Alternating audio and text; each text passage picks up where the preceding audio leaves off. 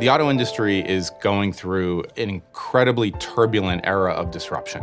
There is a new fish in the ocean. It's called artificial intelligence. And where software was built with writing code, artificial intelligence systems are built with data and learning about their environments.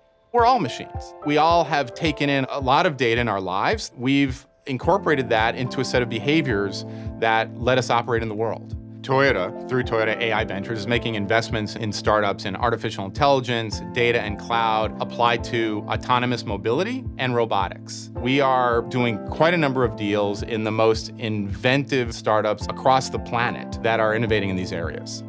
One of the areas that, that we think is important for, all, for many societies is that of their aging population. One of the examples that I love is Intuition Robotics is building a social companion for older adults. It interacts with them. It may remind them to take their medicine. One of the big challenges with robots moving around humans is that they are calibrated to the world that they will operate in. If the robot can react quickly to changes in their environment, then it could decide what it wants to do and therefore be safer.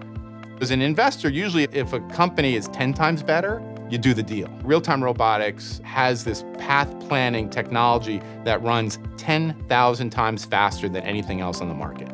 It's so important that Toyota is a great investor.